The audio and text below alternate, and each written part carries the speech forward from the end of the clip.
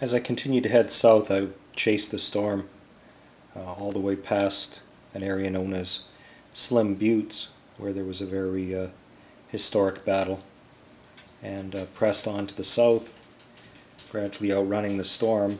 And at one point, uh, I did get ahead of it, and um, was able to turn around and take some pictures of the uh, the Buttes area, which is quite nice. But unfortunately, they don't have anywhere to park, so. Uh, because I was just over a hill, I quickly took the pictures and uh, got back on the bike and headed off. Again, the storm uh, never did quite catch up to me after that point, although I did see some rain the uh, that afternoon in uh, Deadwood. No, Sturgis actually.